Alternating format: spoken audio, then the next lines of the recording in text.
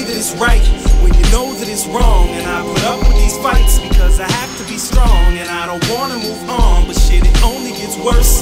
And every time we talk, somebody's feelings get hurt. And I don't know what to do, and I don't know what to say, and I don't know what to think. No longer know who's to blame, but I know shit ain't the same. And when you speak, you're so mad. And when you see me for some reason, you seem to be sad. And then you give me that look, and then it makes me feel bad. It makes me forget was mad. So then we talk and embrace, fall in this pattern again. And then we promise each other that it won't happen again. But then it happens again, and then it keeps going on.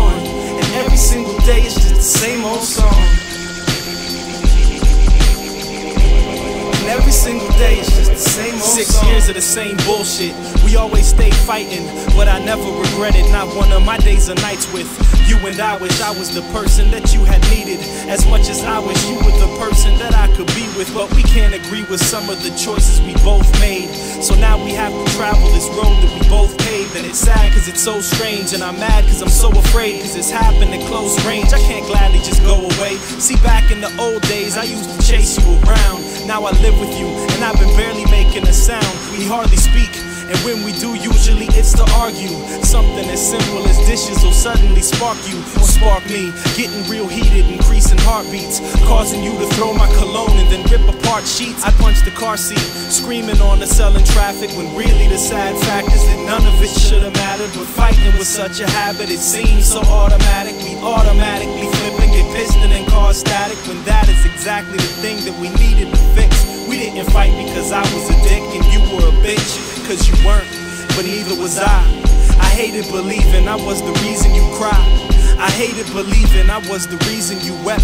And I hated believing I am the reason you left. I'm a grown man, you gotta understand the things that I've been through. Things that made you mad to me weren't even an issue. It wasn't disrespect, I just ain't seem to understand how you were so pro woman. You ain't treat me like a man when we would go and visit fam. You made us seem so divided.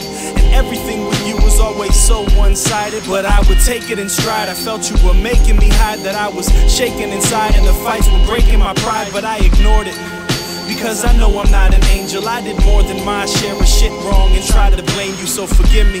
I'm trying to let you know I understood and reminiscing. It seems to be more bad than good, but anyways, regardless of any change in the weather, it seems that we were better separated than together. So until forever, don't think the loving was gone, cause it was there, it just might have been wrong.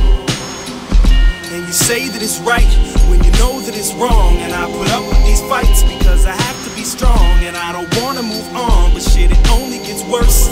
And every time we talk, somebody's feelings get hurt. And I don't know what to do, and I don't know what to say, and I don't know what to think. No longer know who's to blame, but I know shit ain't the same. And when you speak, you're so mad. And when you see me for some reason, you seem to be sad. And then you give me that look, and then it makes me feel bad. It makes me forget the reason why even was mad. So then we talk and embrace, fall in this pattern again. And then we promise each other that it won't happen again. But then it happens again, and then it keeps going on. And every single day it's just the same old song.